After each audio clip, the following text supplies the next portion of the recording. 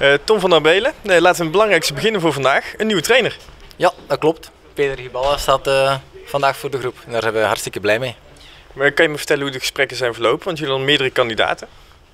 een lang proces. Hè. Um, na het ontslag van de vorige trainer een gans proces aangegaan. Gaande van een eerste telefoongesprek. Um, kijken naar het beleidsplan, een profielschets opgemaakt, een longlist, een shortlist, een assessment en uiteindelijk een aanstelling. Want met hoeveel mensen hebben jullie uiteindelijk gesproken? Ah, er, uh, er, waren verschillende scenario's, uh, maar in het scenario dat, dat, dat voor de hand ligt, en dat is gewoon een hoofdtrainer voor een langere termijn, um, hebben we uiteindelijk met drie trainers gesproken. Maar mogen we ook weten wie? Of, Goed, ik denk dat het een beetje irrelevant is. Hè. onze topkandidaat, nummer 1, die hebben we binnengehengeld. Want uh, Petri Balla, een uh, trainer die uh, veel met jonge spelers heeft gewerkt, is dat een van de belangrijke aspecten voor deze trainer? Ja, uiteraard. Een jonge, ambitieuze, gemotiveerde groep.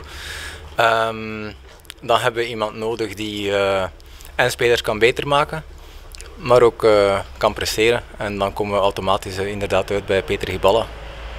En als je dan kijkt, hij krijgt nu anderhalf jaar de tijd. wat zijn de doelstellingen die hij nu mee heeft gekregen? Die blijven nog altijd dezelfde, dat is uh, duurzame promotie.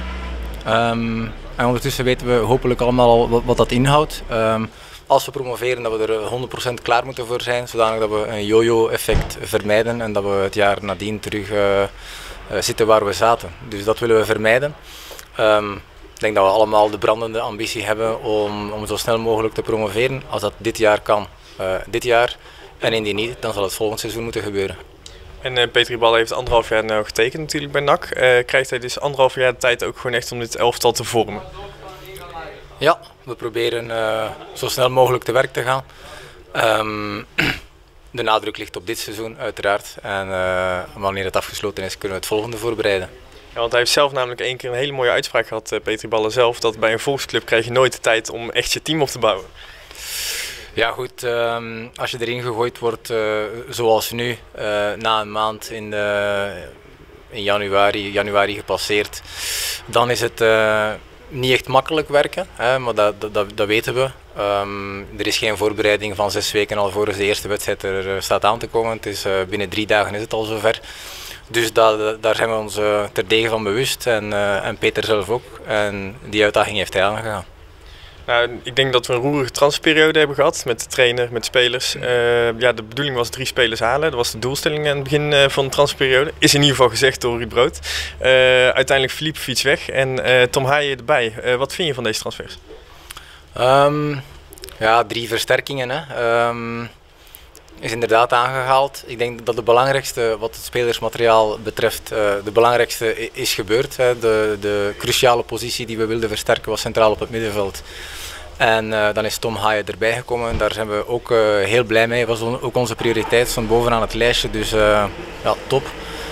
Um, verder hebben we aan de achterkant een, een, jonge speler de kans gegeven, een contract aangeboden. dus die kan je zien als nummer 2. En dan moeten we misschien op de frontlinie onze, onze nieuwe trainer maar zetten. Dat zijn er dan drie. Ja, die heeft ook zijn assistent volgens mij meegenomen, dus dan eigenlijk vier. Ja, goed. Uh, hij heeft inderdaad een vertrouwenspersoon, een secondant uh, meegenomen. En, en die vervolledigt de staf, inderdaad. Maar begrijp, begrijp je dan het gerommel een beetje van de achterban? Dat ze dan denken dat er drie ja, eerste klas spelers bij zouden komen en dat ze het gevoel hebben dat die hier niet zijn gekomen? Nee, kijk, wij, wij zijn daar ook heel bewust mee omgegaan.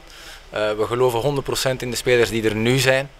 Um, en als we daar het maximum uithalen, dan gaan we denk ik nog een mooi uh, aantal maanden tegemoet. En als een uh, Mounir El Lucci of zo nog weg was gevallen, was het dan misschien nog ook nog geschakeld? Jazeker. Uh, nou, komende half jaar, ja, hoe zie jij de vooruitzichten nu met de nieuwe trainer en nieuwe selectie?